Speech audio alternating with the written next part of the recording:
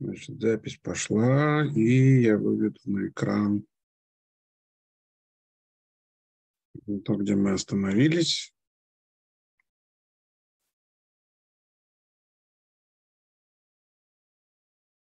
Ну, надеюсь, что вы можете что-то прочитать с этого экрана. То есть здесь, все я правильно понимаю, здесь э, в этом издании жирным шрифтом выделено, собственно говоря, текст Талмуда, а не жирным – это комментарий, то есть обрамляющий. Ну и приводится иврит, правильно. Ну хорошо, значит, мы остановились на том месте, где э, Талмуд разбирал, почему да, то есть у нас были разные варианты того, почему написано так, а не эдак, почему эдак, а не так, почему приобретение, почему не освещение или отделение. И э, в конце говорилось о том, что в начале используется язык Торы, а язык Торы – это приобретение или взятие, да, киха. А язык э, мудрецов – это гегдыш, то есть посвящение, отделение – Э, и дальше был вопрос, который мы тоже прочитали, почему не написано, что мужчина приобретает и делает э, женщину обладательницей самой себя, коне умакне. И э, ответ такой, что дело в том, что здесь перечисляется в том числе и смерть мужа. А смерть мужа – это сложно назвать, что он ей предоставляет возможность себя приобрести. Да, это вроде бы скорее то, что случилось само собой, то есть это смерть. Э, ну и когда отвечает Талмуд на вопрос, почему не сказано, что мужчина приобретает, Потому что если бы было мужчина приобретает, то можно было бы сказать, что он приобретает ее в том числе и независимо от ее желания. Э, но поскольку этого невозможно, да, то есть необходимо ее согласие, ее желание, поэтому сказано «иша никнет», то есть женщина приобретается, приобретается, исходя из ее желания. То есть мы э, на самом деле на уровне грамматическом, конечно, можем сказать, что мы не чувствуем особо разницу, да, то есть что так, что эдак, почему, э, если она не кнет, то есть приобретается, то это с ее согласия, а если он ее приобретает, то это без ее согласия. Здесь э, интуиция языковая да, наша не вполне совпадает с тем, что предлагает нам Талмуд. Но Талмуд, скорее всего, и не идет по пути выявления, так сказать, каких-то семантических э, нюансов глагола «лекнот», а скорее, как всегда, что-то подразумевает. Да? То есть, на самом деле, здесь не, не столько филологические студии, которые выглядят как филологические, сколько э, некие символические моменты. Да? И вот это, если мы были правы в э, нашем основном прочтении, что здесь речь идет в том числе о метафоре приобретения народа Израиля Богом э, или приобретении Торы или земли народом Израиля. Э, да, это две женщины. Тора женщина, это Израиля женщина, народ Израиля женщина, Бог мужчина у нас более-менее э, почти всегда в Талмуде, да, в, в каббалистической литературе будет и по-другому, но Э, в Талмуде Бог почти всегда мужчина, а народ Израиля бывает то мужчиной, то женщиной, в зависимости от того, какого рода отношения описываются. И когда здесь говорится о том, что э, без ее знания да, Баль-Курха э, не приобретается женщина, то, наверное, здесь есть в том числе намек на знаменитый эпизод, мы, по-моему, об этом говорили, да, когда Бог поднимает гору, над народом Израиля и говорит о том, что принимаете Тору хорошо, а не принимаете, значит, здесь ваша, ваша могила. Э, и тогда получается, что, в общем, народ Израиля приобретается Богом в каком-то смысле насильно. Но нет, это, это не насильное приобретение. Ну, возможно, как бы сама по себе вот эта тематика или этот мотив будет в дальнейшем звучать, но для Талмуда важно показать, э, независимо от того, насколько здесь, э, как я уже сказал, филологически это оправдано, сказать, что женщина приобретается только мидаата, ну, то есть э, с ее согласия. Хотя само слово «даат» – это не обязательно согласие, «даат» – это понимание, знание, можно бы сказать, аскама, да, то есть аскама – это согласие. Но Талмуд выражается именно, вот, используя это слово «дат», и тоже не будем сейчас, э, наверное, рассуждать о том, какие коннотации, собственно говоря, имеет это слово «дат». Понятно. Мы на этом, собственно, остановились. Да? И дальше. Дальше, сейчас я найду, где здесь это. Вот, видите, здесь в самом конце, вот я выделил. Вот отсюда, собственно говоря, мы продолжаем. Май ирия детаны шалош. А вот, э, последние, собственно говоря, два абзаца на этой страничке. Потом мы на страничку перевернем. Умай ирия детаны шалош. Литный шлоша. Э, опять э, вроде бы Талмуд говорит нам про филологию да, или про грамматику. Э, почему же написано шалош, а, а не шлоша? А где написано шалош? Написано в самом начале Мишны, да, сказано Аиша никнет бешалош драхим. Женщина приобретается тремя путями. Э, у нас есть э, форма числительных женского рода, это шалош как раз, и есть мужского рода, это шлоша. Вопрос э, слова дерех, это слово женского рода или мужского рода, окончание драхим, мужского рода. Но у нас бывает существительные женского рода, у которых есть окончание мужского. И наоборот, бывает мужского рода, окончание женского рода. Там шульхан, шульханот, халон, халунот. Да, то есть окончание вроде бы женского рода, множественного числа, оно существительно является мужским, мужского рода. И здесь э, мудрецы Талмуда, если бы, в принципе, они осуждали в терминах грамматики, они спрашивают, почему использовано числительное женского рода, а не числительное мужского рода. И отвечают, мишум де каба или лимитный дерех. Ведерех лашон на кивагу. Ответ такой, потому что нужно вот, э, учить именно э, слово дерех, путь, дорога, а слово дерех женского рода. Дихтив, вегодата лагем это дерех елхуба. Ну и э, опять же, они ссылаются, когда говорят о том, что это женского рода. Э, вот как раз, да, здесь женского, женского рода. Мы переворачиваем страничку.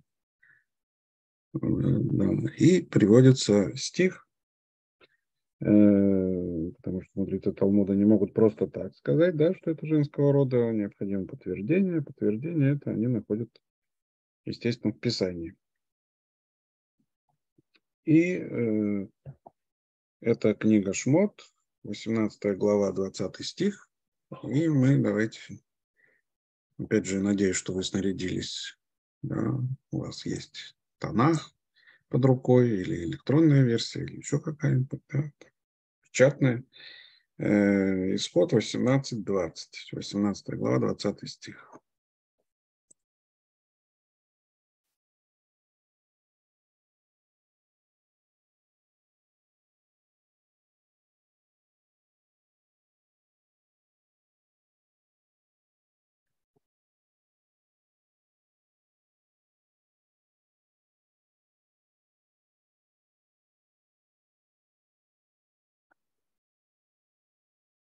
Значит, это у нас э, раздел ИТРО, да, и здесь э, говорится следующее. Давайте контекст посмотрим.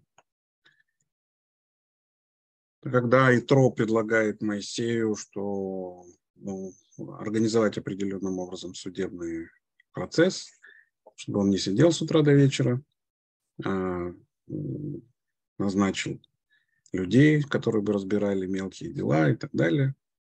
И вот на другой день сел Моше судить народ, стоял народ перед Моисеем с утра до вечера, перед тем, как Итро посоветовал. Э, ну и вот дело шло туго и так далее. И Итро ему говорит, ты истощишься ты окончательно, и ты, и народ сей, который с тобой. Ибо слишком тяжело для тебя это дело. Не сможешь ты один совершать это. Теперь послушайся голоса моего, я посоветую тебе, и будет тебе Бог с тобой. Будь ты для народа посредником перед Богом, представляй дело Богу. И объясняя им уставы и наставления, и указывая им путь, по которому им ходить, и дела, которые им делать. Вот э, в этом контексте звучит э, вот это самое, э, этот термин, термин «дерех», и э, отсюда, собственно говоря, э, автор этого высказывания заключает, что э, это женский род, потому что здесь сказано «илхува», то есть пойдут по ней, и вот эта ну, приставка, она э, приставка или что это такое ба, да? то есть э, она является женского рода, то есть суффикс является женского рода. Б это приставка, а эй это суффикс. Э, ну хорошо, значит, на самом деле э, мы видим что? Что стих, который используется, да, это стих, э, который говорит о каком пути? О путях Торы. Да? То есть это Моисей должен объяснить путь, по которому они должны идти. То есть он должен объяснить Тору, по сути дела, да, какой путь.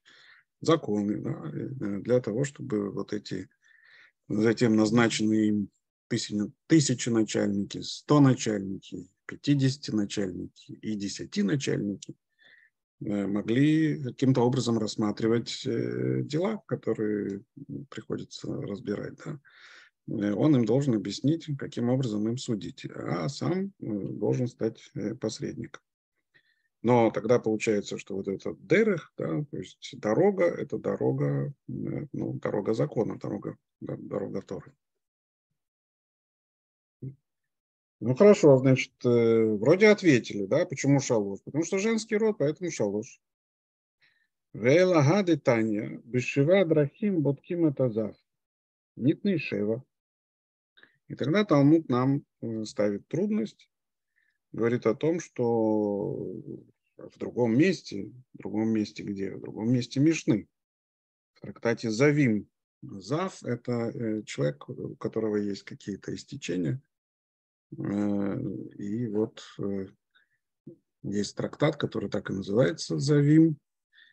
Э, и к этому трактату, собственно говоря, вот идет апелляция да, в данном случае. И там сказано, что семью путями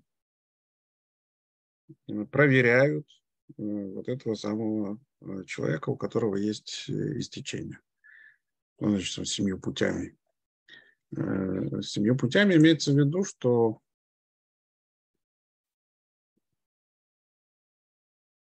имеется в виду, что есть семь способов да, или семь вариантов того, каким образом проверить, э, является ли человек чистым или нечистым. Да? То есть эти истечения, что, это, что это за тип истечений, и э, проверка вот этого истекающего осуществляется э,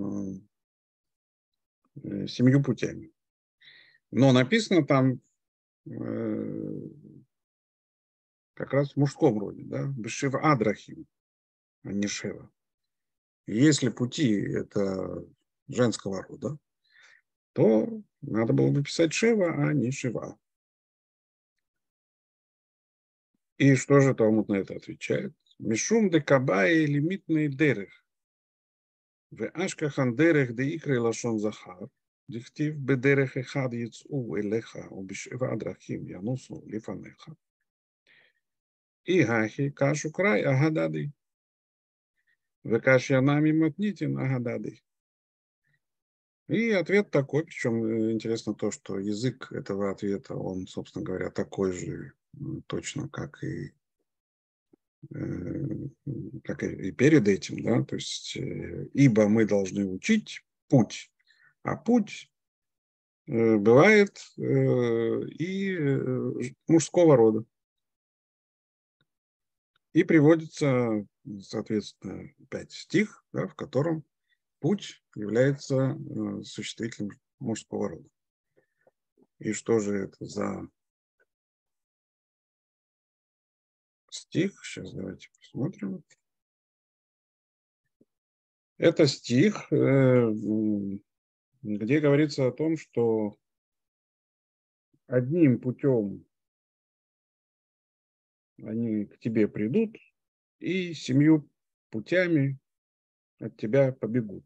Это э, указание народу Израиля, да, что если он будет себя вести хорошо, то э, враги придут одним путем, а побегут э, семью разными путями. Ну, то есть э, образное выражение по поводу того, что да, враги, конечно, разбегутся сразу же, если народ будет себя вести правильно. Это Дворим 28.7. Давайте мы посмотрим на контекст.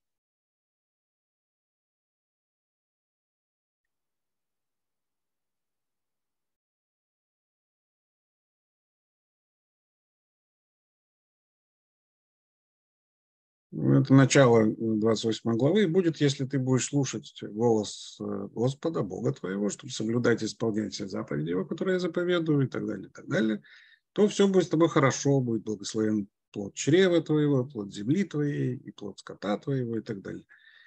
И поразит пред тобой Господь врагов твоих, восстающих против тебя. Путем одним они выступят против тебя, а семью путями побегут от тебя и не спошлет Господь тебе благословения в житницах твоих и во всяких других начинаниях.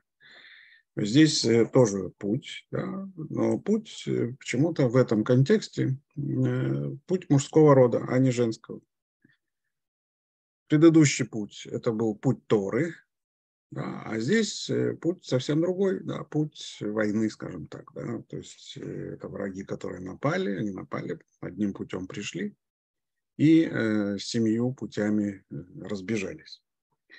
И здесь действительно, почему, откуда мы знаем, что это мужского рода? Э, потому что используется э, слово эхад, бедерех эхад, да? одним путем пришли, слово эхад мужского рода, но так же, как и Шива. А, ну про Шива, собственно говоря, и был вопрос, почему не Шева. Э, да? И, и э, ответ такой, что в данном случае это мужского рода. То есть война, условно говоря, да, сейчас, если отвлечься от, опять же, нюансов чисто грамматических, э, то на смысловом уровне получается так, что путь Торы э, женского рода, а путь войны мужского рода. Ну, и Талмуд говорит, тогда у нас э, получается странная история, то есть противоречит друг другу стих Писания, да, и, и Мишна тоже противоречит. То есть есть противоречия и в Мишне, и в Писании. Почему в Мишне противоречие? Потому что у нас женщина, когда говорится про женщину, она никнет бешалош драхим, женского рода. Э, а э, вот этого э, человека, который истекает, то есть ну, больной гонореей, условно, да, этот больной гонореей, его проверяют семью способами. Да, вот этот мужской род, он в данном случае относится к путям проверки. А женщина – это пути приобретения. И э, вот на уровне Мишны у нас получается в одном месте Мишны так, а в другом месте Мишны так. Ну и на уровне Писания то же самое, да, то есть у нас есть э, вот Дерех, о котором говорит Моисей, и он женского рода, да, а есть Дерех, то есть путь мужского рода, о котором сказано в книге Дворим. Ну хорошо, и что?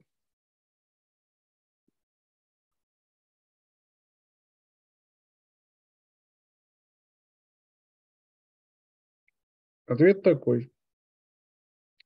Край Агадада и Локаши. То есть стихи нет, здесь никакой сложности нет. Почему? Гахада Битора Кай, сколько здесь говорится про Тору, Витора икры лашон накива, а Тора она женского рода. Диктив Турат Хашем Танима Мишават Напиш.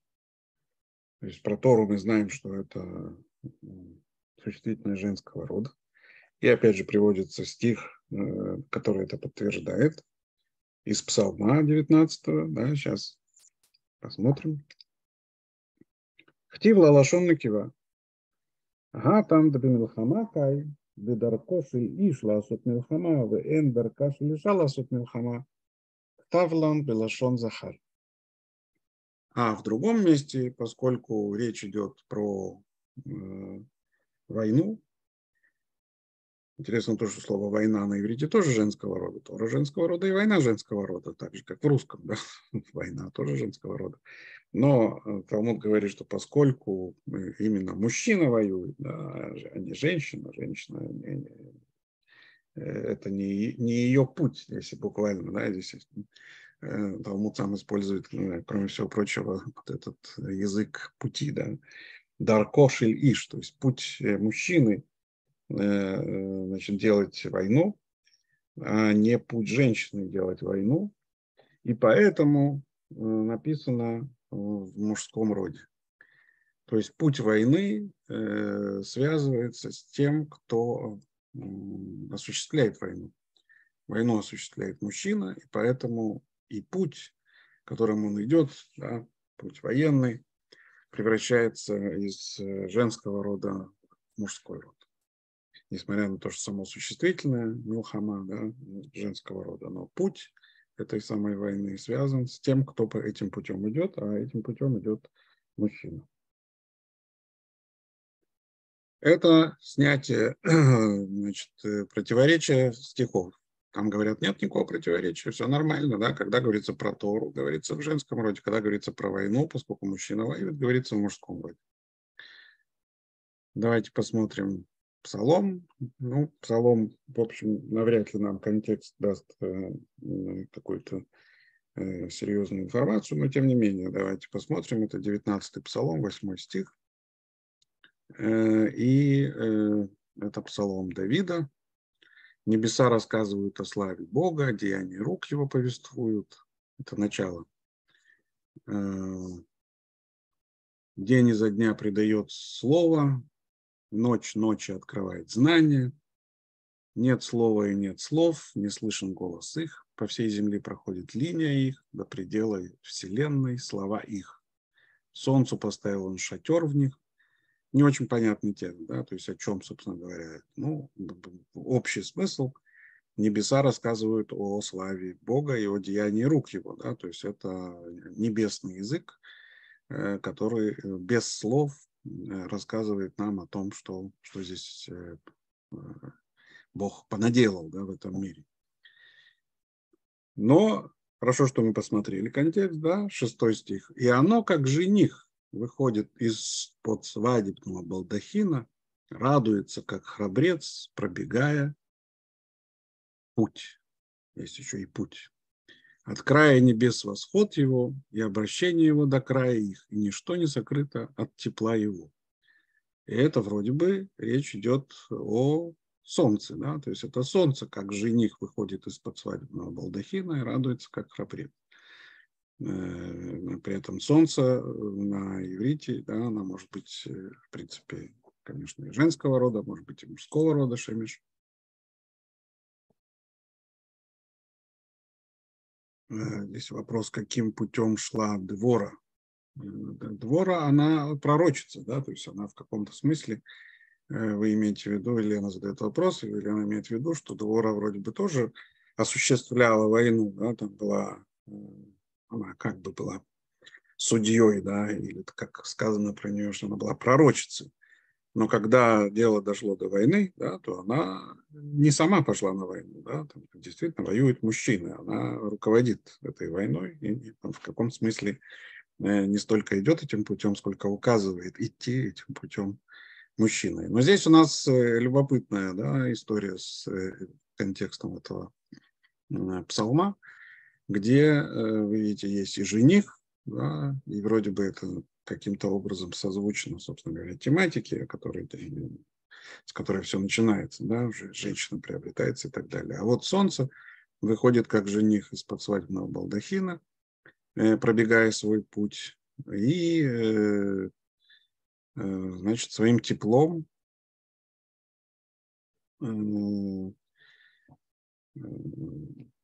покрывает да, весь мир. Ничто не сокрыто от его тепла. А после этого почему-то неожиданно, да, то есть речь шла вот о небеса, рассказывают и далее, а дальше как раз говорится вот этот самый стих, который цитируется. Тора Господня совершенно оживляет душу, свидетельство Господне верно умудряет простака. Повеление Господа справедливые веселят сердце, заповедь Господа чиста, освещает очи. Э, получается, что в самом псалме, видите, есть своеобразный параллелизм, да, то есть э, солнце все освещает и э, дает всему тепло, и Тора тоже, она умудряет и освещает очи и так далее, да, то есть, но если солнце, оно как жених выходит из-под балдахина, то про Тору сложно сказать, что она жених, она же вроде бы как невеста, да. Но возможно, что в данном случае как раз э, Тора рассматривается э, как э, жених, да, и возможно, что Тора в данном случае да, имеется в виду мужское начало. Возможно ли понимать Тору как мужское начало? Ну, конечно, да, возможно. В каком случае? Э, возможно понимать как мужское начало, если говорить о том, что это э, то, что относится к Богу, да, то есть мы зависит от того, э, что мы подразумеваем да, под Торой.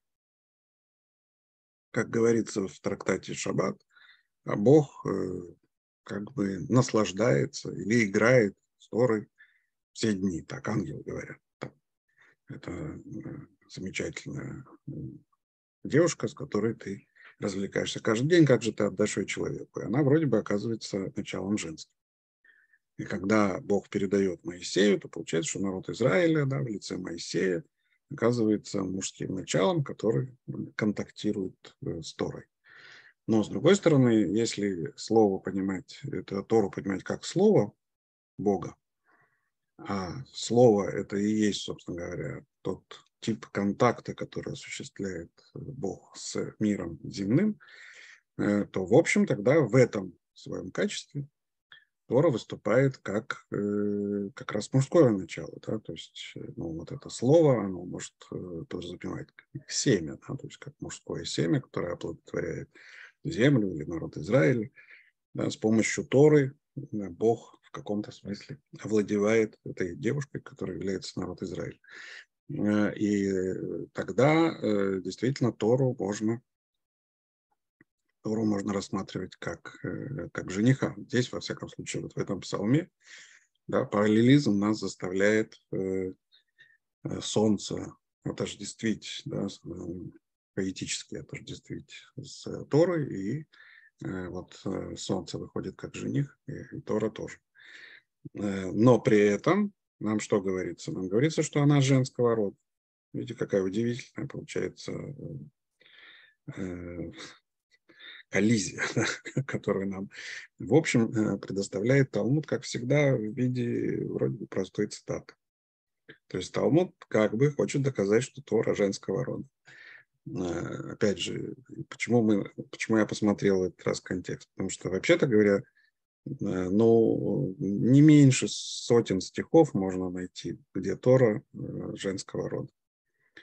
Почему-то выбирается именно этот, да, то есть, хотя из псалма, да, хотя можно было выбрать, ну, я же говорю, можно открыть конкорданцию, посмотреть, и речь идет про Тору, я убежден, так, на вскидку говорю, но я убежден, что не менее там сотни примеров, где Тора из контекста понятно, что само слово Тора – это женского рода.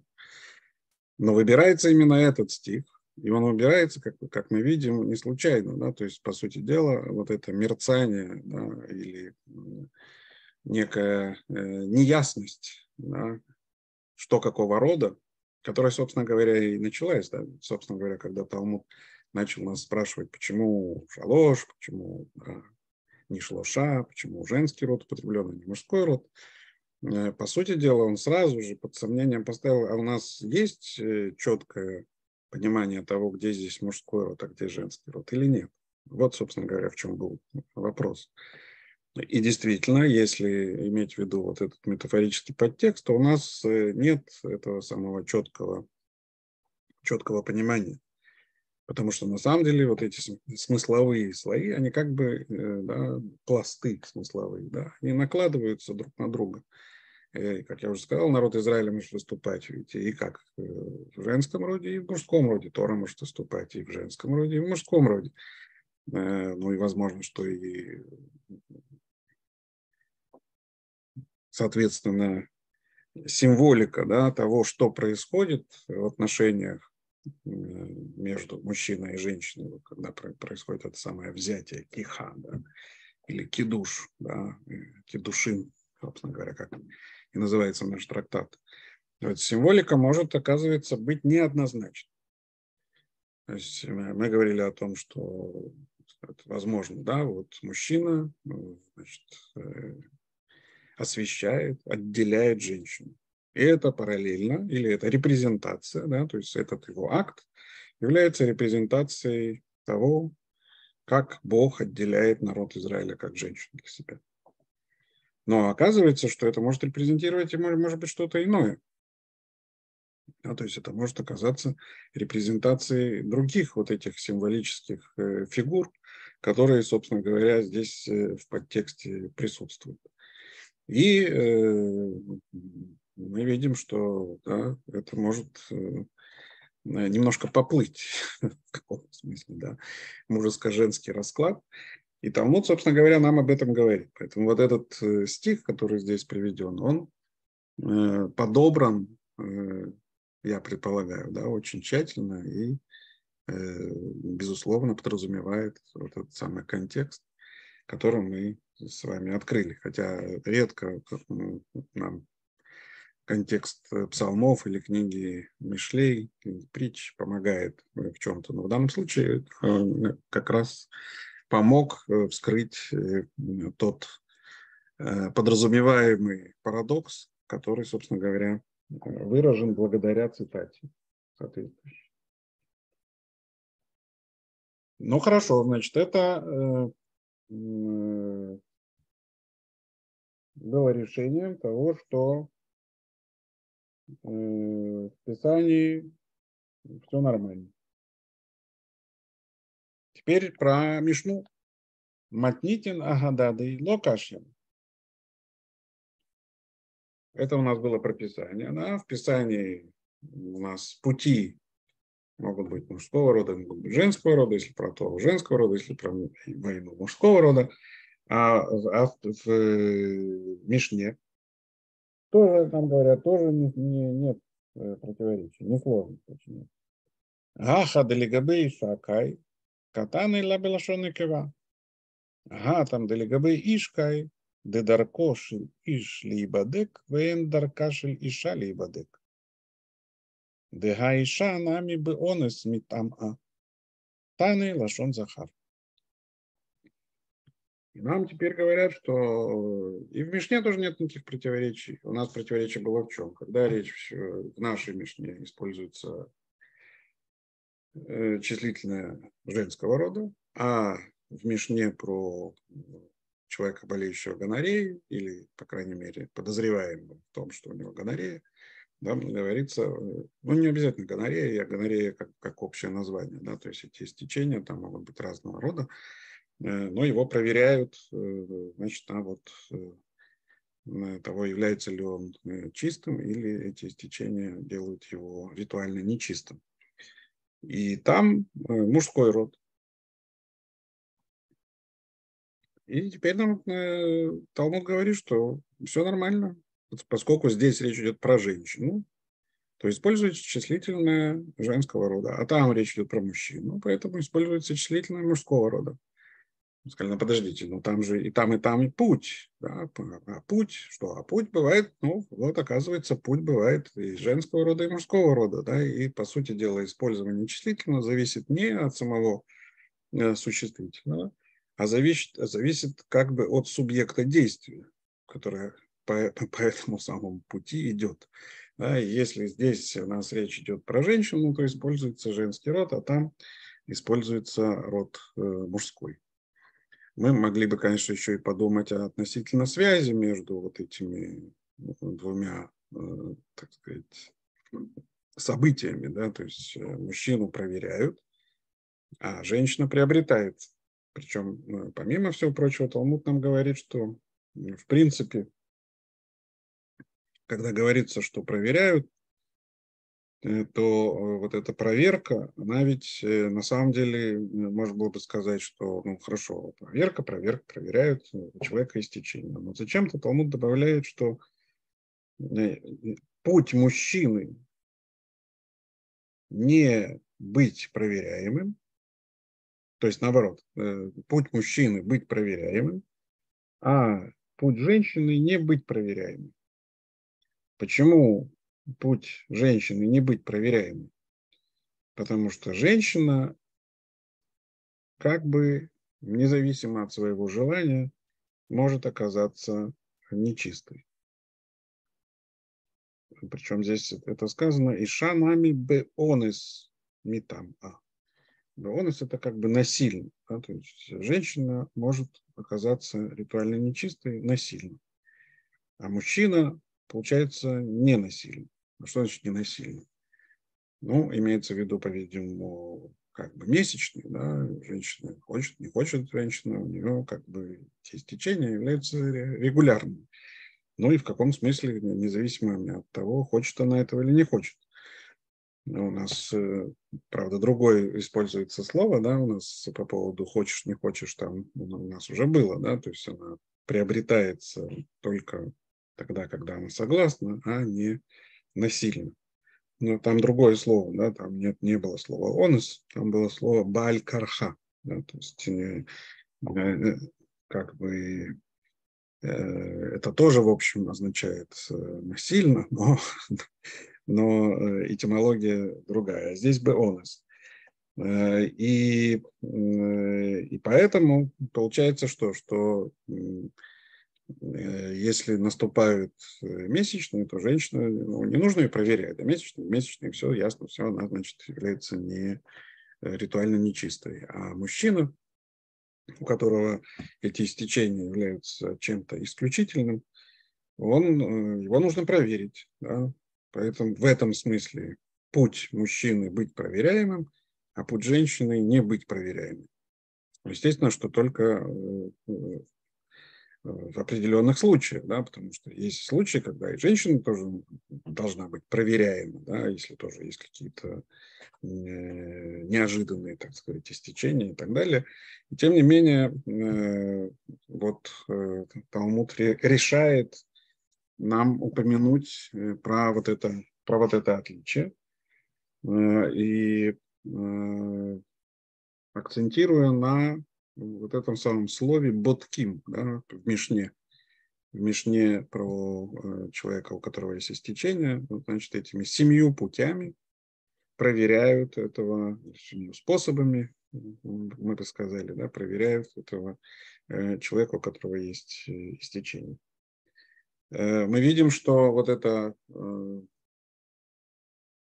запараллеливание, что ли, да, мужчины и женщины, оно продолжается Талмудом, да, потому что, вообще-то говоря, можно было бы сказать, что, ну, не, не упоминать вот это, вот этой проверки, правда же? То есть можно было сказать, там мужчина, а здесь женщина. Женщина приобретается, а мужчину проверяют. Причем здесь проверяется женщина или не проверяется женщина. Но э, Талмуд, опять же, используя слово «дырых», да, о котором идет речь, говорит, что э, женщина обычно не проверяется. Да? Не путь женщины быть проверяемой, а путь мужчины быть э, проверяемым. Э, но э, наличие истечений делает его в чем-то да, похожим на женщину, а в чем-то э, все-таки отличной от э, женщины. Ну хорошо, значит, это э, такой э, первый, э, что ли, круг который мы э, прошли. А дальше Талмуд задает следующий вопрос, и он э, продолжает э, задавать вопросы вот такого якобы грамматического или филологического плана. Сейчас тут есть вопрос. Возможно, о других частях трактата об этом говорится, а именно о природе мужских истечений. Конечно, вот этот трактат, как раз ссылка на, на трактат, который так и называется «Завим». Но там, кстати, не только о мужчине, но и о женщине, о разных истечениях.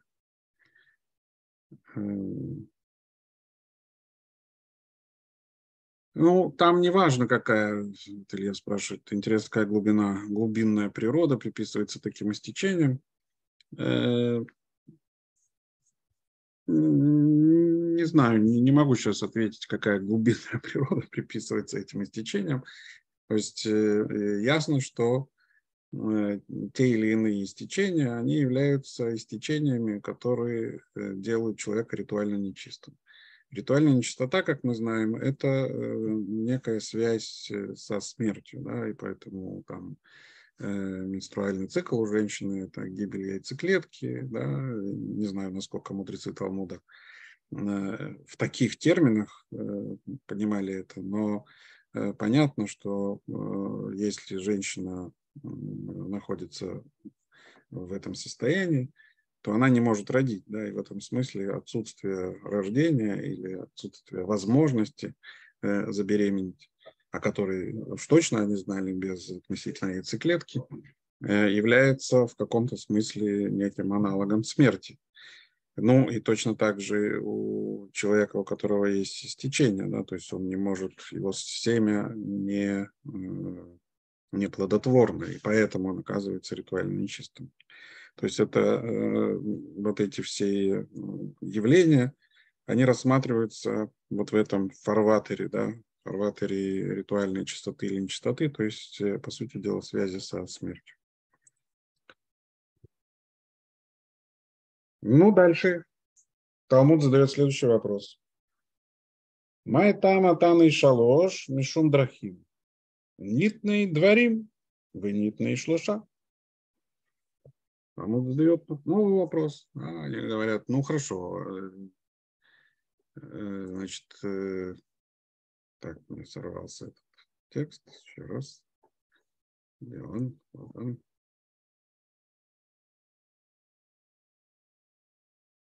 Вот мы здесь. Сейчас я подчеркну. Вот. Э, Талмуд говорит, что, ну хорошо, ну, вы нам объяснили, все прекрасно, да, почему шалош, потому что трахим, почему женского рода числительное, потому что здесь, здесь путь, а путь бывает женского рода, бывает мужского рода, здесь женского рода, потому что здесь еще женщины, все хорошо, все понятно. Но почему, в принципе, учили здесь путь? Могли бы учить э, вещи, да, тремя вещами, не тремя путями, а тремя вещами. Нитный дворим. Эти похожие слова. Шлуша. Дворим тогда было бы, а не шалош драхим. Потому что давара это точно мужского рода. И тогда числительное было бы э, тоже мужского рода. Опять же, да, мы можем сказать, что они прицепились-то? Что они прицепились? Но мы видели, что здесь, э, в первом круге рассуждений, Э, мы выявили много чего, да, то есть они недаром прицепились, они прицепились, собственно говоря, к расплывчатости вот этих самых, э, как мы бы сегодня сказали, гендерных символики, да, гендерной принадлежности того или иного момента, да, то есть, по сути дела, вот этой расплывчатости символического уровня мужского и женского. Ну, это я называю символическим уровнем, да, ну, мудрецы Талмуда как-то, видимо, это называли иначе, но подразумевали, по-видимому, это, да, и вот это само сомнение или постановка вопроса относительно того, что здесь у нас э, мужское и женское каким-то образом э, подвижно, скажем так, да, это, собственно говоря, и был э, вопрос вот этого первого круга. А теперь у нас пути и вещи. И вот эти пути и вещи – возможно, являются выражением еще одного какого-то подспудного рассуждения, которое мы сейчас попробуем э, вскрыть. Не знаю, удастся или нет, сейчас посмотрим. Нам говорят так. Мишум декиба и лимитный биа. Убия и крайдерех. Дихтив ведерех гевер бе-алма. Бе-алма. Кен дерех иша мена эфит.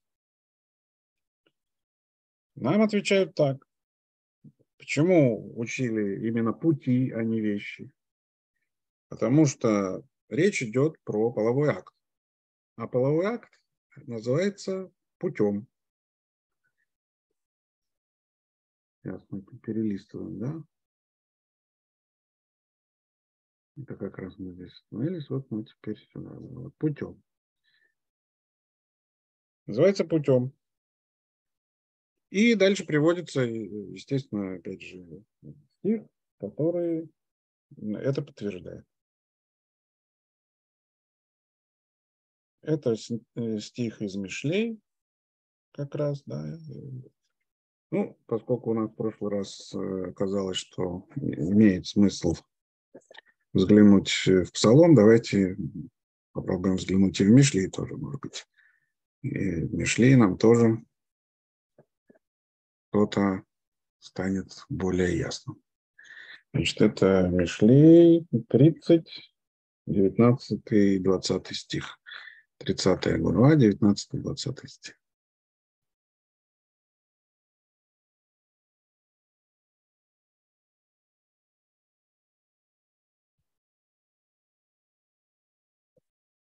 Значит, здесь начинается э, довольно редким введением, да, это слова некого Агура, сына Яки, который говорит, ведь я невежда между людьми, нет у меня разума человеческого, и не научился я мудрости в познании святого, не имею.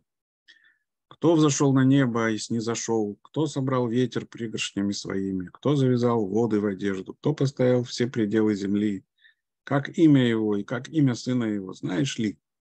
То есть он как бы, этот Агур, не, не понимает, кто управляет, да, не знает ничего про э, Бога вроде бы, Хотя дальше говорит, всякое слово Бога чисто, он щит уповающих на него. Что то ли он вроде не знает, да, не умудрен в познании святого, а с другой стороны вот кое-что про это говорит.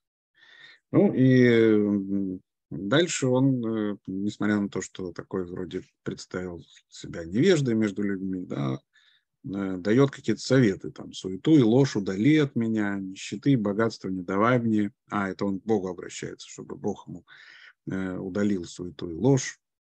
Дабы я не присытился и не отрицал, и не сказал, кто Господь. Только что он это говорил, правда, кто Господь. Он допрошал, да, а теперь он говорит, что давай как-то так сделай, чтобы, чтобы не было у меня этого вопроса.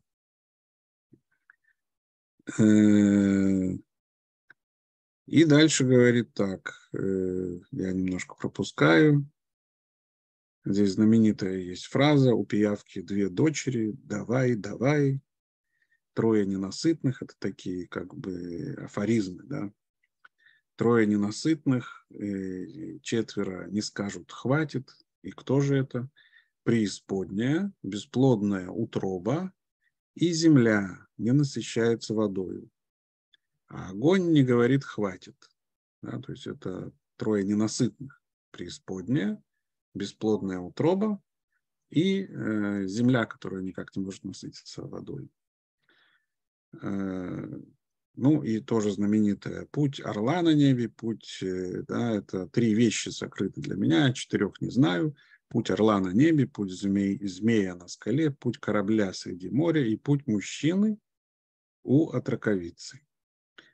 Э, опять же, здесь есть путь, да, и видите, что хорошо, что мы опять же посмотрели контекст, хотя обычно это не помогает, в данном случае очень даже помогает, потому что, в общем, здесь речь идет как раз о пути мужчины у, отрац... от раковицы или у отраковицы, да, и, и как раз путь, и, э, да, э, здесь упомянут. Таков путь жены прелюбодейной, поела, обтерла рот свой и говорит, не сделала я худого. Ну, то есть нам приводят э, доказательства да, того, что э, половой акт называется путем. вот из этого самого места. Причем э, здесь э, этот путь, он как бы тоже двойной, потому что в 19 стихе это путь мужчины у отраковицы, тогда получается, что это путь, которым мужчина овладевает отраковицей, предположим, да, а второй таков путь жены прелюбодейной. А путь жены прелюбодейной – это, э, ну, в каком-то смысле, можно сказать, что в первом случае этот акт – это инициатива мужчины, а во втором случае это инициатива женщины, или, по крайней мере, да, ее э, явное желание. Да? Э, прелюбодейная жена, причем здесь прелюбодейная, значит, замужняя женщина, которая идет таким путем. Да? Каким путем? То есть путем, э, собственно говоря, прелюбодеяния. Э, ну, естественно, что возникает вопрос опять, да, э, собственно, что нужно было доказать Талмуду. Талмуду нужно было доказать, что слово «биа», то есть половой акт, называется путем. Э, тоже на вскидку сейчас не скажу, какие стихи можно было бы использовать, но э, тот стих, который используется, он используется в каком-то смысле э, ну, не совсем э, корректно, так я скажу. Да? Почему не совсем корректно? Потому что самого слова «бия» здесь нет.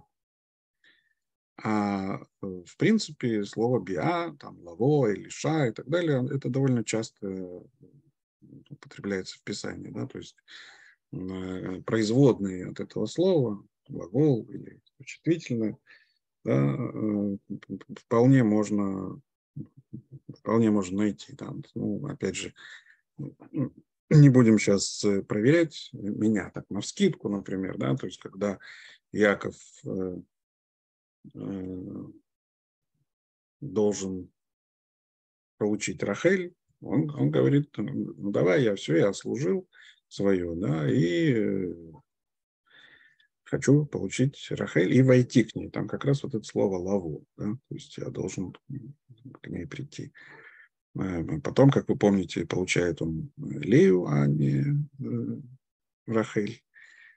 И э, не помню точно, но такое у меня ощущение, что Лаван говорит, что э, ну, таков путь у нас, да, то есть у нас не принято, ну, вот слово не принято, это то, что на русский переводится как не принято, по-моему, э, он использует как раз э, слово дырых, что так не, у нас типа не поступают, чтобы отдавать младшую прежде старшей. Можно было бы использовать это, да, и там есть э, это слово, есть слово биа, а здесь его нет. Здесь нет слова э, лаво, биа, да, то есть здесь есть просто э, путь. Да, а то, что это, этот путь является половым актом, мы догадываемся как бы из, э, из э, контекста. Но дело в том, что, собственно, половой акт тоже по-разному может быть выражен. Не обязательно есть слово бия, есть слово ливоль, например, да, бааль Бааль – это, в общем, обладающий. Обладающий в каком смысле? Вот именно в таком смысле. Э, то есть, э, поэтому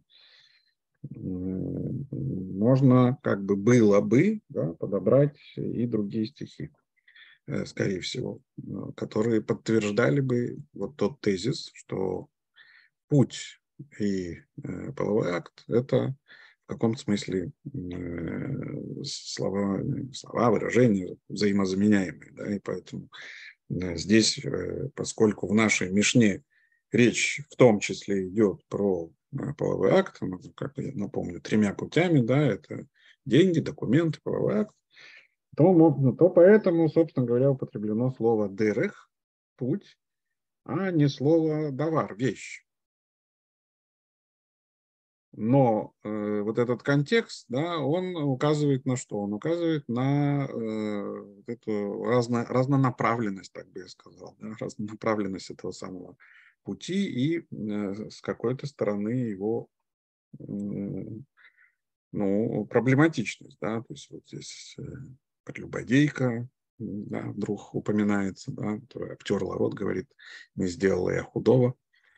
А, а с другой стороны, неизвестен этот самый путь, подобно путь у орла на небе и змея на скале, так и путь мужчины в отраковице, если, если буквально, да, здесь переводится у отраковицы, здесь ба-алма, бе-алма, э, в девушке, да. Э, поэтому здесь э, возникает вот эта самая, я бы так сказал, проблематизация или нюансировка, собственно говоря, самого э, акта. Да? Акт сам по себе, ну, ну так, да, то есть э, проблематичен, сокрыт, неизвестен. Если я не знаю этого самого пути, то как же, собственно говоря, можно э, таким путем э, приобрести женщину, если этот путь неизвестен, что имеется в виду, не очень понятно, да, в самом этом стихе, когда говорится, что я не знаю этот путь мужчины в от раковицы. Э, ну, а путь женщины-прелюбодейной как раз очень даже понятен, но это путь э, как раз другого рода, да, который является э, ну, в каком-то смысле следствием, да, следствием как раз бракосочетания. Если бы не было бракосочетания, то не было бы и прелюбодеяния в каком-то смысле. Да? То есть женщина свободная, она не называется в Писании прелюбодейкой. Э, прелюбодеяние относится исключительно к женщине замужней или к женщине, которая отделена на кудеше, да, вот этот самый кедушин, как гегдыш, да, отделен от, э, ну, так сказать, использования кем бы то ни был другим. Так мужчина отделяет женщину, и в тот момент, когда он ее отделил, становится возможным это самое прелюбодеяние. Пока этого не произошло, нет никакого прелюбодеяния.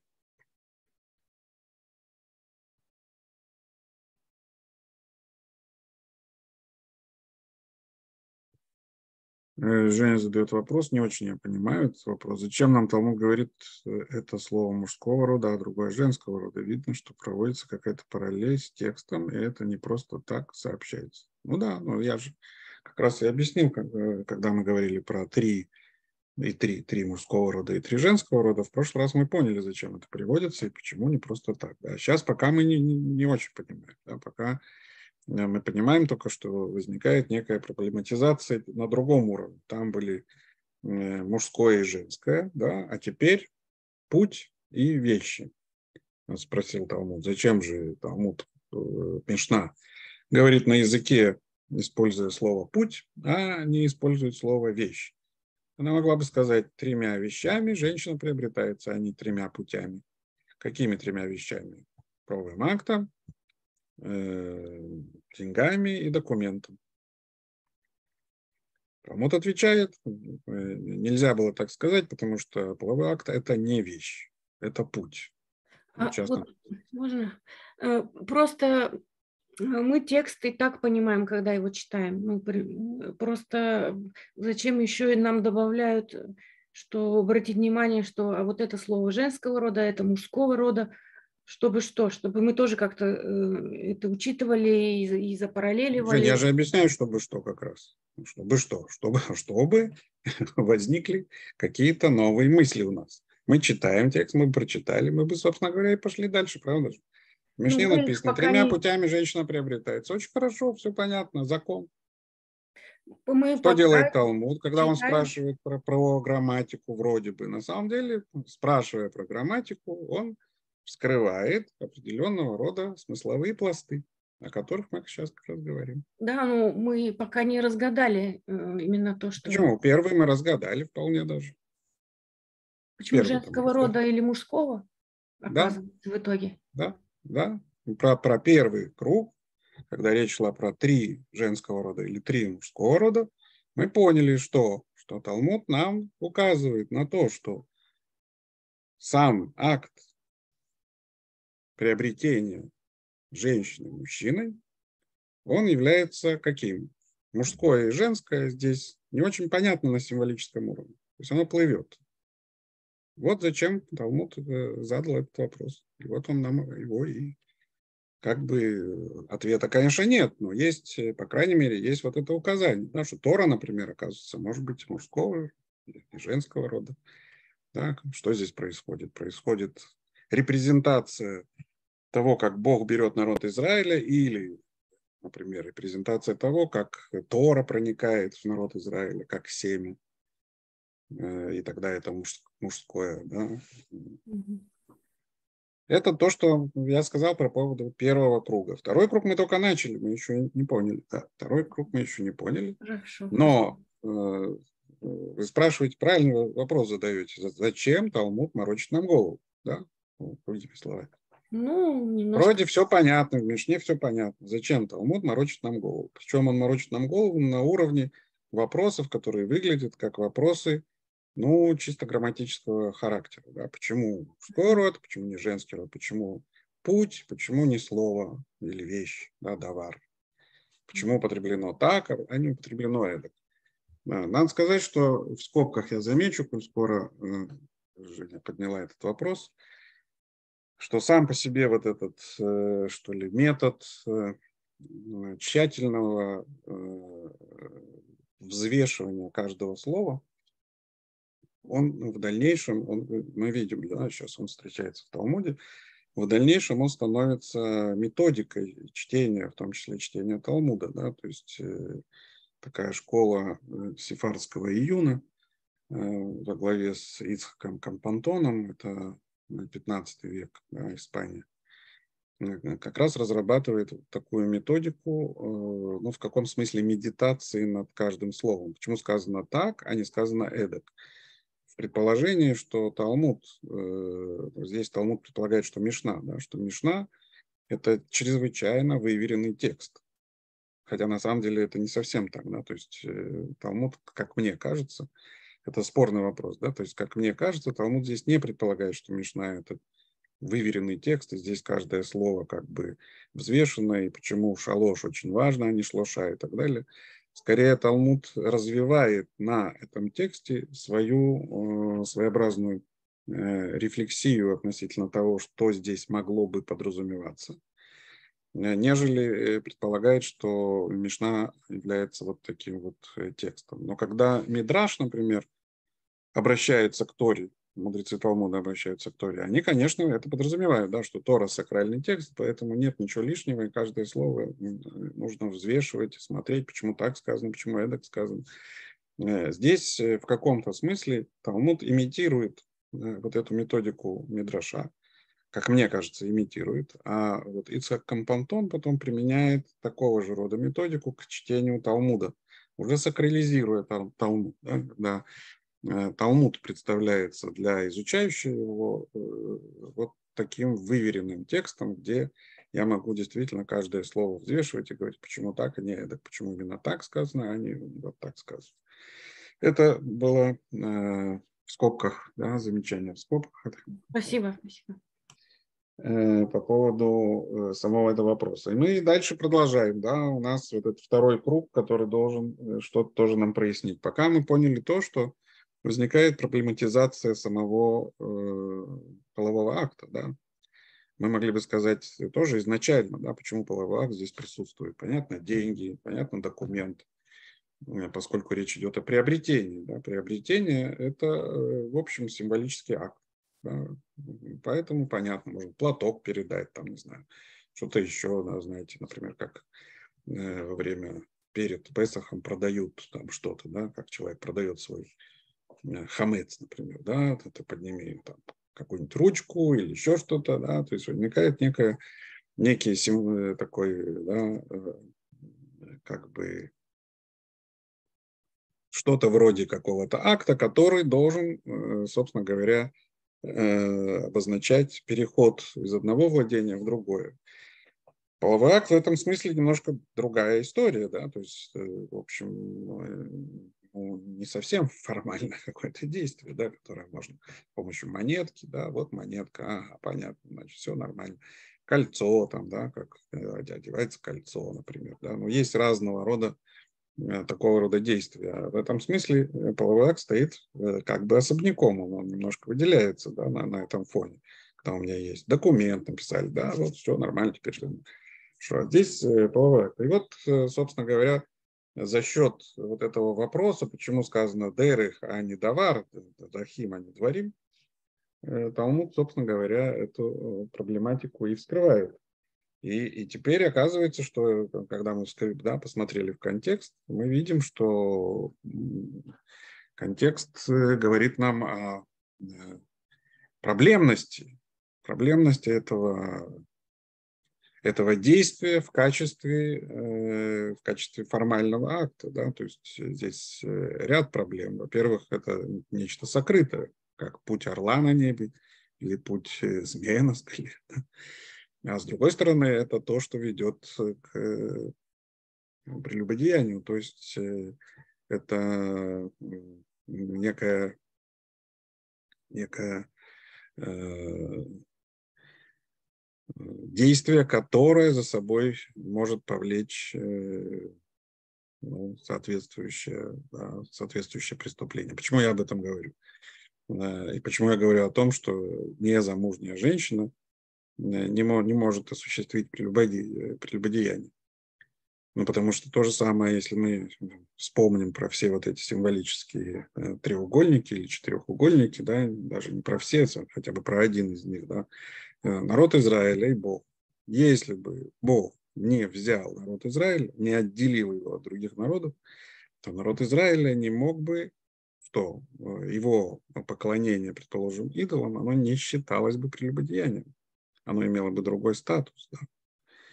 Э, поэтому здесь вот такого рода подтекст. Да? То есть вот эта прелюбодейка, это в том числе, предположим, народ Израиля, да, который теперь отделен Вопрос, э, каким образом он отделен? Он отделен с помощью денег, с помощью документа или с помощью полового акта. Да? Ну, с помощью полового акта мы видели в трактате Шаббат, да, что описывается дарование Торы именно как половой акт. Да, и э, Тора описывается как слово Бога, которое подобно молоту, то есть фалосу. Да, то есть э, вот это мужское начало Торы, о котором мы только что говорили. Да, но в таком случае э, да, это с одной стороны то, что сокрыто и непонятно, с другой стороны это то, что превращает в каком-то смысле эту э, женщину, ну, народ Израиля, предположим, в прелюбодейку. Э, я сейчас сказал только про один из возможных да, символических пластов. Как мы говорили, уже возможны и другие. Ну хорошо, это э, пока мы не дочитали да, до конца вот этот круг с Драхим Дворим. Э, Талмуд дальше говорит, ага, тейнах биа, кесеф уштарма и калимейма. Ну хорошо, говорит Талмуд, это по поводу полового акта. А что ты скажешь про деньги и про документ? И отвечает, мишум бия. Это из-за полового акта. Почему? Витаны и тарты ату хада. И что из-за одного мы как бы нагибаем двух, потому что и деньги, и документы – это дворим, это не драхим, это не пути, да, это вещи. А вот половой акт – это путь. И что же мы из-за одного пути, э, значит, э, наклоняем э, два, две вещи? Такой вопрос. Ганахнами цорых биянин. И тогда ответ такой, что на самом деле эти две вещи, они ведь на самом деле для чего? Для полового акта, да, в конце концов, в итоге э, женитьба, она подразумевает этот самый половой акт, и поэтому и деньги, и документ, они, вообще-то говоря, для этого предназначены. И поэтому получается, что половой акт является доминирующим, и тогда мы используем слово «путь», а не слово «вещь».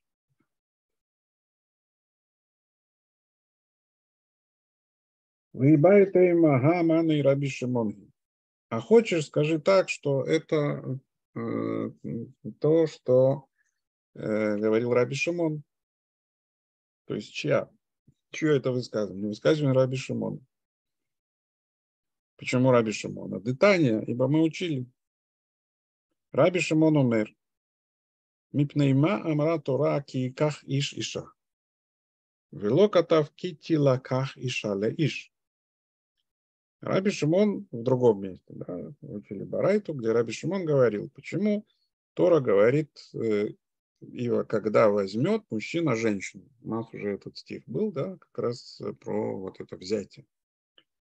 Почему не написано в Торе? Видите, теперь вот такой же вопрос, только что я как раз про это говорил, да, теперь вот этот вопрос взвешивания каждого слова Раби Шимон обращает как раз э, к Торе. Он говорит, почему не сказано, что и, и взята была женщина мужчин, для мужчины. Именно мужчина берет, а не женщина берется. מפני שדרכו של איש לחזר על אישה. Потому что путь мужчины ухаживать за женщиной. ואין דרכה של אישה לחזר על איש. Но не путь женщины ухаживать за мужчиной. То есть э, мужчина возьмет, а не женщина будет взята, согласно Раби Шимону. Это э, почему? Потому что мужчина ну, как бы играет активную роль, а не женщина. Женщина не ухаживает за мужчиной, мужчина ухаживает за женщиной. Э, ну, мы тогда могли бы сказать, тогда и здесь надо было в нашей Мишне, в нашей Мишне же сказано, что женщина приобретает сад, до, до этого как раз про это говорили, что э, почему не сказано, что мужчина приобретает. Согласно Раби Шимону, надо было как раз именно это сказать. Ну, сейчас посмотрим, что дальше. Машаль ли Адам, Шавдалу Авида, Михозер Альми. Э, и, э, по-видимому, Раби Шимон приводит притчу или пример с человеком, который потерял, что-то потерял. Ну и кто же, собственно говоря, за, за кем э, ухаживает, и кто кого ищет? Баля вида, Михазара вида то. Ясно, что тот, кто что-то потерял, он за своей потерей, он ее ищет. То есть получается, что да, мужчина ищет э, женщину э, как э, своего рода потерю. Да? Мужчина потерял женщину, а не наоборот. Женщина здесь приравнивается к его потере. Раби Шимон.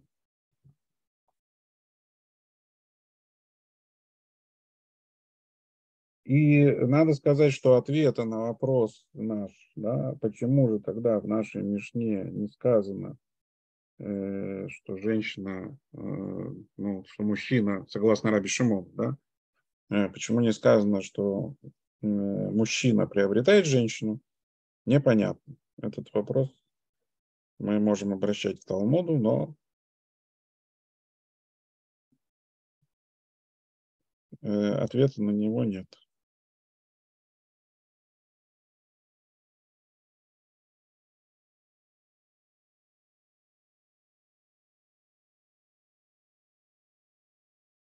То есть ответ, конечно, мы можем вернуться к тому ответу, который Талмуд давал, да, что не сказано коне, потому что она должна согласиться, сказано не кне. Ну хорошо, так тогда то же самое можно было бы сказать и про Писание, да, потому что в Писании сказано как раз ках иш иша.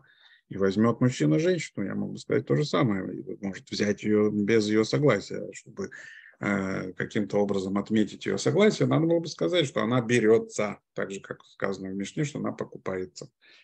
Э, поэтому вот э, эту барайту, которую здесь привели да, от имени Раби Шимона, она, собственно говоря, особо ничего не объясняет. Она какая-то, э, да, э, ну, несколько, наоборот, смущающая, да, скорее. Потому что, в принципе, э, ну, например, если мы прочитаем Раши, давайте мы посмотрим, что у вас, э, то есть у нас что в переводе об этом говорится. Как я уже говорил, переводчик следует комментарию Раши в этом издании. Вот видите, вот здесь. А если хочешь, скажи, как Раби Шимон. Как учили. Раби Шимон говорит,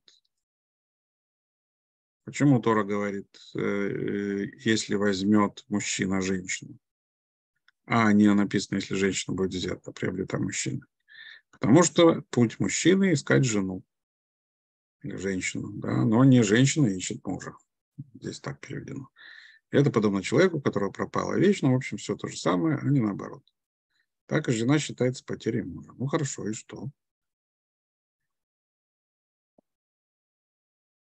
Поэтому Тора говорит, что муж берет жену, что означает, что все зависит от мужчины. И поскольку, согласно мнению Раби Шимона, посвящение дел, делается по обычаю людей, по установленной практике, то и Мишна, Мишна использует слово «путь». Видите, это комментарий Раши, видимо, да, я сейчас э, прочитаю, чтобы мы убедились в этом.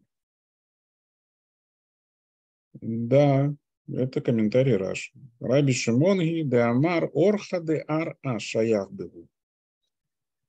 То есть, э, получается, Раши пытается, видите, что делает Раши? Раши пытается вот этот э, фрагментик с Раби Шимоном, который, вообще-то говоря, ну, скорее э, ставит проблему, нежели отвечает на вопрос. Ведь у нас вопрос был какой?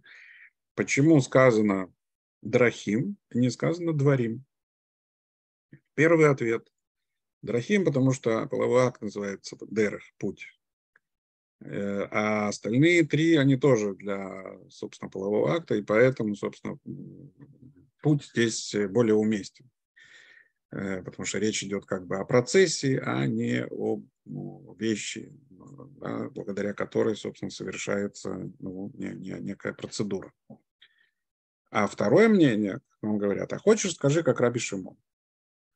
И Раби Шимон, по идее, да, вот в этой барайте должен был объяснить, почему, э, ну, исходя, Раби Шимон ничего не должен был, конечно, никому, но Талмуд приводит эту барайту как объяснение того, почему используется слово «дерых», а не слово э, «давар», вещь. В словах Раби Шимона вообще ничего нет. Ни, ни про дерых, ни про вещь. Э, Раби Шимон как раз говорит про то, как сформулировано в Торе. Э, вот это взаимодействие мужчины и женщины. Там мужчина берет женщину, да, а, не, а не наоборот. И приводит ну, как бы притчу, пример, да, что женщина является потерей, мужчина, значит, за ней, э, за своей потерей э, бегает. Мы, конечно, на символическом уровне, да, если мы вспомним про символический уровень, все замечательно. На символическом уровне у нас получается что? Что на самом деле не столько народу Израиля нужен был э, Бог в качестве мужа, сколько Богу нужен был народ Израиля. Да? То есть э, в каком-то смысле для Бога народ Израиля является потерей, которую он ищет. Кто ухаживает за кем? Бог ухаживает за невестой, а не наоборот.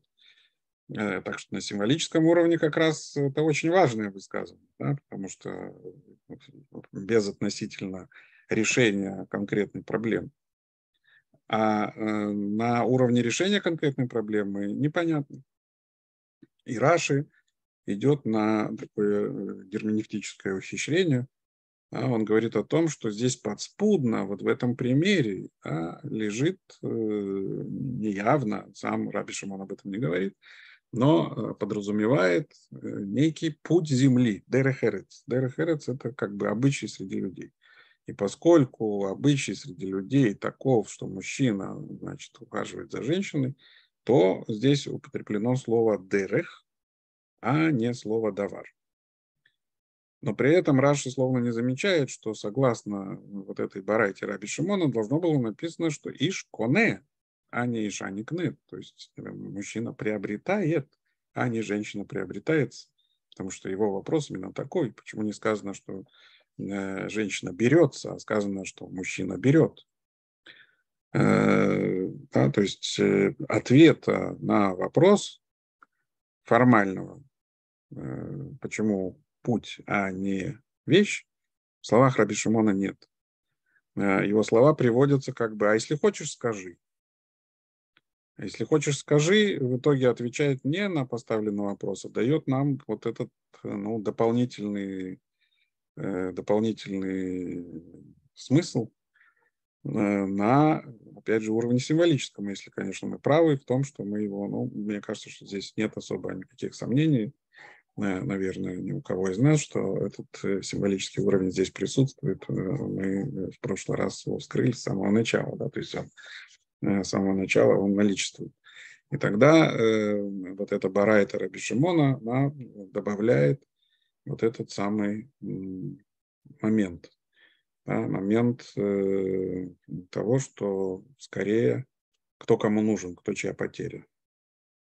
народ Израиля или человек в каком смысле, да, в широком, является потерей Бога, а не наоборот, не, не, не, не так, как говорил Э, да, например, Эшель, да, что человек ищет Бога, там, ну, не знаю, современные философы, да, человек ищет Бога, находит его и находится в поиске. Нет, не человек ищет Бога, Бог ищет человека. Да, то есть это э, для того, чтобы его приобрести или взять. Да? То есть э, это важная мысль, которая э, здесь подспудно присутствует и которая Э, возможно, собственно, наши, ну, мы, собственно, и затормозились на этом, да, потому что, вообще-то говоря, это Барайта не отвечает на поставленный вопрос.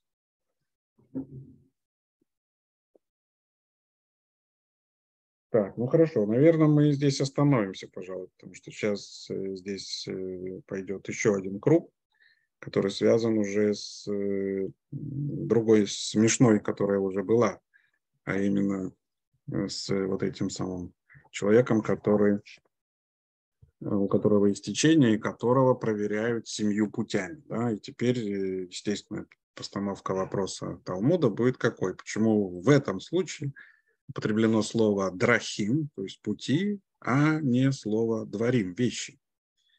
Э, предположим, что в, в отношении женщины мы поняли в нашей Мишне, почему драхим, а почему там сказано драхим, мы пока не поняли мы э, поймем это, э, стало быть, э, в следующий раз. Если у вас есть какие-то вопросы, замечания, то пожалуйста.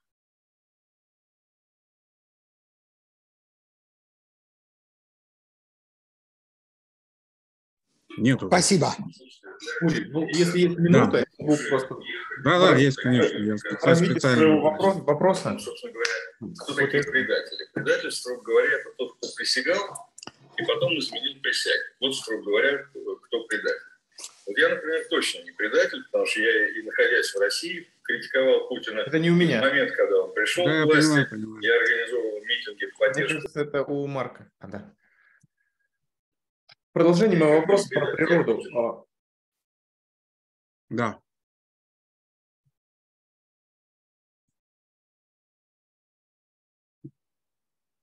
Илья, у вас выключен как-то звук. А, как потому что вы, видимо, всем выключили. Все. Еще Нет, раз. я не всем выключил. Ну, в общем, включил, извиняюсь. Да. А, угу. В трактате Брахот мы обсуждали а, связь а, различных напитков и еды и состояния человека. Ну, там угу. селедка там лечит заболевание кишечника, а там холодная так, э, горячая так, свекла там, ну и, в общем, там самая масса, самая большая масса э, различных пересечений. И таким образом нам очевидно, что а, и, и, и еда сама по себе не просто еда, она еще имеет связь с каким-то внутренним содержанием нашего организма или мироустройства так и наши заболевания – это не просто заболевания, а тоже нечто большее. Ну, в общем, в Средневековье эта мысль как бы и в Европе в медицине преобладала. А, и поэтому я и интересуюсь истечениями. А, то есть, с одной стороны, кажется, а, ну, таким довольно грубым сравнением женских как бы природой обусловленных истечений и мужских. Ну, нам говорят, что окей, Мужские поэтому надо проверить, потому что они не норма. Но все равно странно, да, что они ставятся в один ряд. И, и, и кажется, что э, э, могло им придаваться тоже какое-то значение, что это, ну, условно, там, человек себя неправильно вел, э, там, черта характера у него такая была. То есть все же могут там как-то вот вступать в какие-то неконтролируемые половые связи, но у кого-то это там появляется, не появляется, и, и, интересно, вот таким как бы незапланированным вещам тоже придается такое значение. То есть я способен, ну, пусть и с течением, там, любым другим заболеванием, то есть э, ну, кто-то заболел, кто-то нет, а, как-то характеризуется это ли там особенностью человека, либо а, какой-то волей Господа.